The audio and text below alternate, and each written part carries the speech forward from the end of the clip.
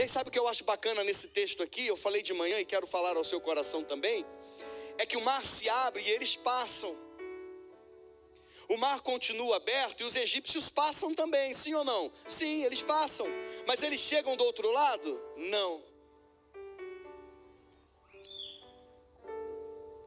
Porque aquilo que é promessa, sonho de Deus para a sua vida, é para você tomar posse, mais ninguém. Quando a promessa é de Deus para a sua vida, ninguém se coloca no meio para atrapalhar. Do mesmo jeito que você precisa talvez aprender a parar de sonhar os sonhos dos outros. Talvez você esteja entrando em mares que Deus não abriu para você, abriu para outros. Talvez você esteja entrando em caminhos que Deus não fez para você, fez para outros.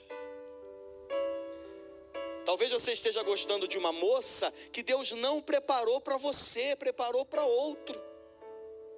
Talvez você esteja gostando de um moço jovem que não é de Deus para você, Deus não preparou para você, preparou para outro. E aí sabe por que, que você está sofrendo? Porque como o mar não foi aberto para você, ele está fechando sobre você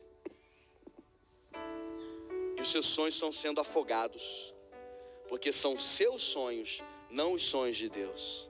Passe pelo mar que Deus abriu para você, porque com Deus e para você, o mar sempre se abrirá.